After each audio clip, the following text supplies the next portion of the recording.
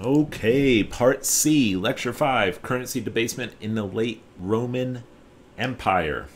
What happened? What happened to Rome? Well, if you want to talk about the decline of Rome, that's a whole, you know, huge topic. You, you could have a whole course on the fall of the Roman Empire.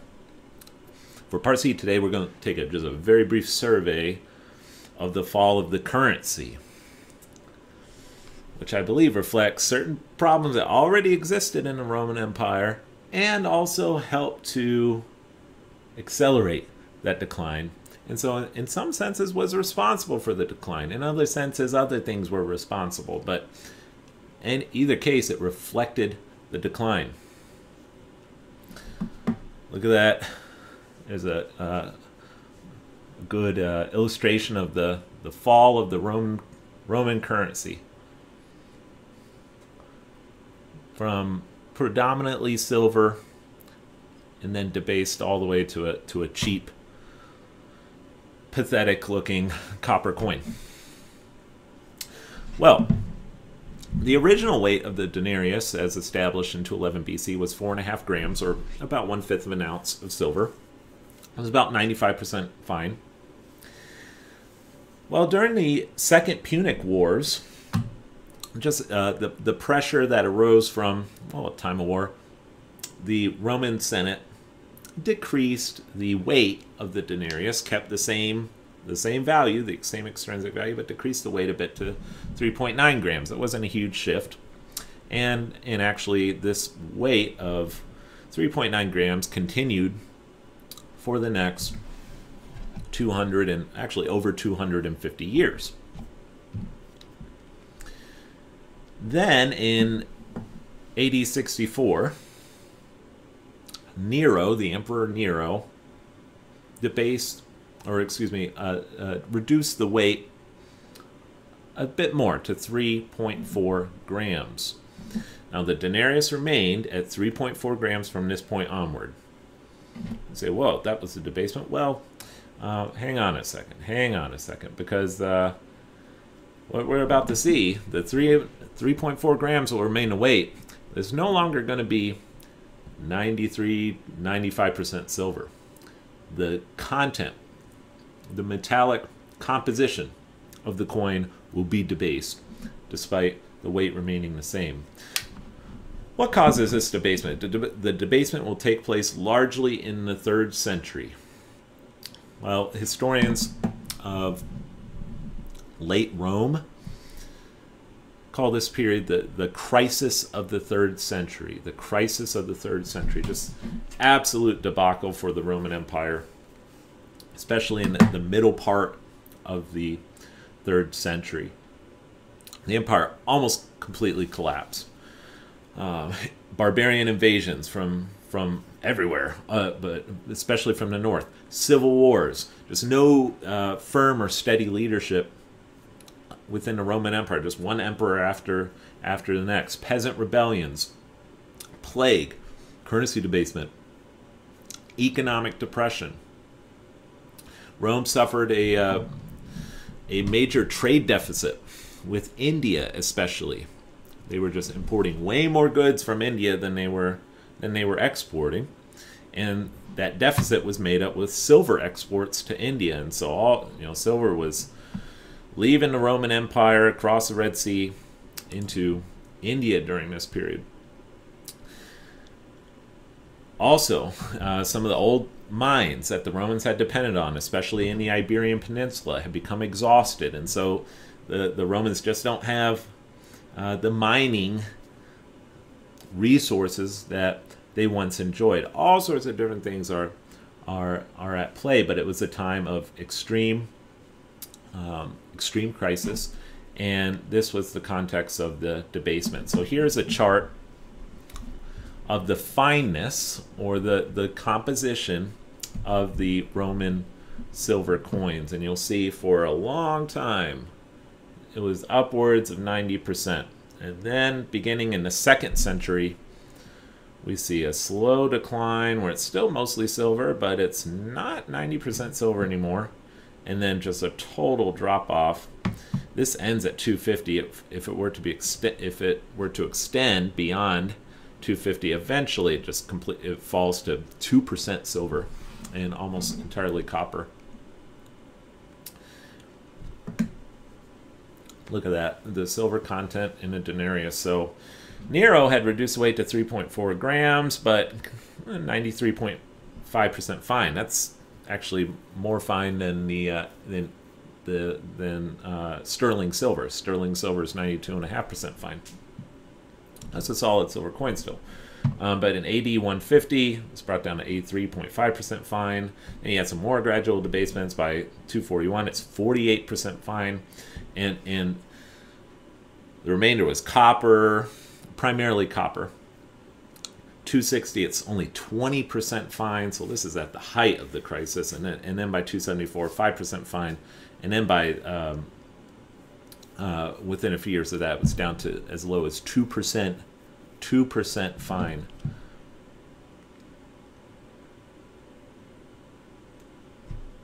You can see a, a visual of that. And this all it's caused inflation uh, because the the extrinsic value or the value that the government said it had remained the same, but it was clear the intrinsic value wasn't there anymore, and so prices went through the roof. In fact, there was an emperor Diocletian who attempted to uh, uh, set a price controls and a maximum on what you could charge, and, and it and it failed. There was a there emerged a black underground market to to skirt around those price controls.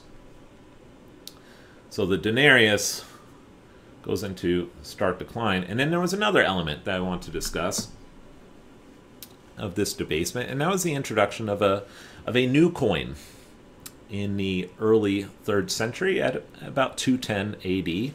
This particular version of the coin is from 240. Historians call it the Antoninianus. The Antoninianus. And the Antoninianus was an entirely new coin. It was a little larger than a denarius, and at first it was silver. It was a silver coin, predominantly. Had a little bit of copper in it, but predominantly silver. It had the silver content, one of these coins, it was large. It had the silver content of about one and a half denarii. So if you take a denarius and then maybe uh, cut another denarius in half, that's about how large Antoninianus would, was and how much silver contained. However, the government said the official ratio is two to one. Government said two, or an Antoninianus is worth two denarii, not 1.5 denarii. Now, what does this all mean? How, why does this matter? Well, consider this. An Antoninianus weighed 5.1 grams, approximately. 5.1 grams. Mostly silver, some copper in the beginning. Two denarii weighed 6.8 grams. 6.8 grams for two denarii, 5.1 grams for one Antoninianus. Government says two denarii equal one Antoninianus. Now, if you are buying something with money, are you going to want to spend a coin that weighs 5.1 grams of silver? Or are you going to want to spend two coins that together amount to 6.8 grams of silver? Well, if you're at all intelligent, you uh, if you're not an idiot, excuse my my French, you're going to use the Antoninianus, right? You're not going to use the coin that has more silver in it when the government says they have the same value. So, before long, because the Antoninianus was overvalued, overvalued, meaning that it has a lower intrinsic value than, than the price the government had given it, had placed upon it. Because the Antoninianus was overvalued, people chose to spend the Antoninianus and then refused to spend the denarius. They hoarded the, denar- the denarius and exclusively use the Antoninianus. And the Antoninianus is overvalued because the government says this equals that. Well, everybody knew it didn't. Everybody knew that this is worth more, right? Even though the government said they were equal. This is clearly worth more. So people chose to spend this coin and to hoard this coin. And the whole reason why I'm bringing this up is because this is illustrates a principle that we're going to return to in this class on a number of occasions. Principle that we, we call Gresham's law. Gresham's law. This is a law, general economic principle, that bad money chases out good money. Bad money chases out good money. Let me give you a modern day example. The US dime before 1965 had 90% silver and 10% copper.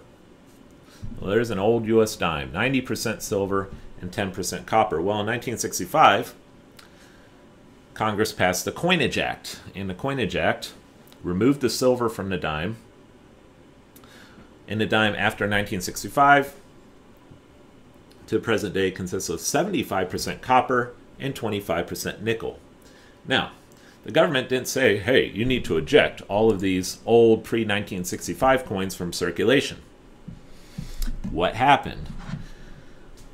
Well, let's see.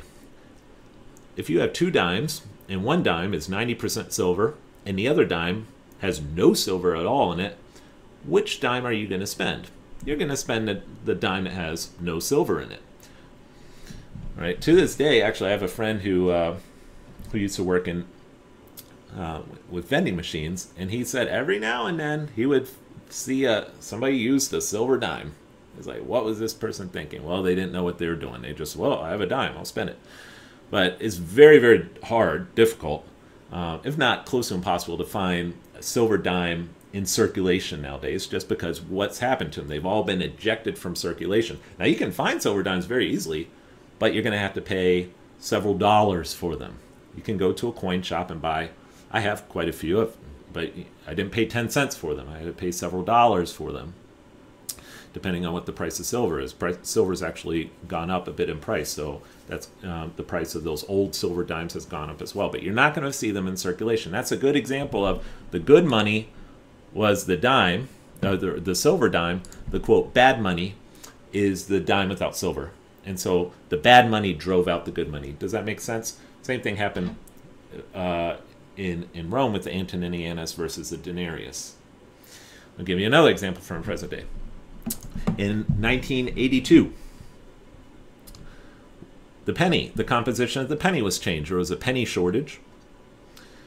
Before 1982, the penny was 95% copper and 5% zinc. After 1982, the penny was changed to 98% zinc and 2% copper. So the penny today has almost zero copper in it. It's mostly zinc. What happened to the old pennies? Well, copper isn't silver, so it's actually it's more possible to find old pre-1982 pennies. I'll find them on occasion. Um, they're worth several cents. I think like three or four cents. I'd have to double check that. All right, so they're worth more than one cent. So, but that's not a huge incentive to you know hoard the pennies, and so you still see a few of them out there. But there are actually people who collect the old 1982 pennies. Um, and you get enough of them, you can melt down the copper, and it's, I, I believe that it might be illegal. I'm not sure, uh, so I don't want to uh, uh, endorse any criminal behavior here. But if you melt down the copper, you can make a, a little bit of a profit of course, is it worth it to, to go about collecting? I'm not sure. For a while, actually, I, I was uh, every time I came across an old 19, pre 1982 penny, I ejected it from circulation, and I have a little peg at home. Not even because I plan to do anything with it, but almost just the principle of it, right? Gresham's law needs to be put into effect. And so I'm ejecting this penny from circulation. This penny has no business uh, uh, actively circulating anyway. Um, I don't really do that much anymore. Something about having triplets uh, and being a father um, tends to distract you from, you know, things like collecting pre 1982 pennies. Um, and there are other examples in, in history. We'll see some more, but in ancient history, when the uh, the Athenians were defeated by Sparta. The Athenian government was broke, bankrupt. The Spartans had taken over the silver mines that Athens had once controlled, and so the Athenian government in 405 BC issued bronze coins and it had a very, very, very, very thin wash of silver over the bronze. And they said this has the same value as the old silver coins. Well, what happened? Everyone hoarded the old silver coins and, and exclusively used the new bronze coins that had just a tiny bit of silver in it. There was a, a, a Greek playwright from that era, Aristophanes, who, who wrote, quote, the ancient coins, the old silver Athenian coins, are excellent, yet we make no use of them and prefer those bad copper pieces quite recently issued and so wretchedly struck. He was almost uh, somewhat confused by this. We have this beautiful silver coinage and we're not using it. Why aren't we using it? Well, it's because it's it's good money. And when you introduce bad money into the occasion, bad money chases out good money. Gresham's law. What? Who is this Gresham? Who is this Gresham? Well, um, in 15, you may, may remember from a previous lecture, we talked about the Great Debasement. In the middle of the 16th century, when Henry VIII and his son Edward debased the English currency so that it was mostly copper with just a little bit of silver. Well, Elizabeth decided to reform the currency, return the pound to four ounces of silver. She was advised by a financier, a wealthy merchant of the day named Thomas Gresham, to call all the old bad money out of circulation and recoin everything. Just get rid of that bad money. Because Thomas Gresham said, essentially, you know, if you have that bad money, it's going to make the whole project useless. Because as soon as you issue the good money, the good money is going to be hoarded. As long as the bad money is there. Thomas Gresham, there he is. Uh, actually, Thomas Gresham did not himself write Gresham's Law. People have known about what what we call Gresham's Law for centuries before Thomas Gresham, and uh, and actually the name Gresham's Law was given to it retrospectively by some historian in the 19th century. But anyway, that's Gresham, uh, uh, one of the more famous economic laws in monetary theory. So, um, but even the Antoninianus, like the denarius, was debased by bronze. By the end of the third century, the Antoninianus had only 2% silver. This is an Antoninianus from 280 AD. You can tell this is not a silver coin very clearly. So the currency completely debased. Rome hangs on. Oh yeah, here's another chart. Look at that. The debasement. This is of the Antoninianus. 240s it was about 40% fine, down to 30% fine, 20% fine and less than 5% fine. Rome hangs on for a little while longer. Diocletian somewhat recovers things a bit, although yeah, not anywhere close to the old glory of the Roman Empire, of the earlier Roman Empire. Diocletian actually partitions the empire in half between west and east. 5th century, barbarian invasions from the north, from all over. Rome is sacked in 410 by the Visigoths, and then in 455, the Vandals sack Rome again. And so the Western Empire just completely disintegrates. The Eastern Empire sort of does its own thing and survives for a long time. The Byzantine Empire became known as it became known. But for the western half of the Roman Empire in 476 AD, the uh, final Roman emperor was deposed and done. And Rome, or Western Europe, uh, descended into what historians have called the Dark Ages. So that concludes our section on Rome, and uh, I look forward to seeing you next time as we as we embark on the medieval period.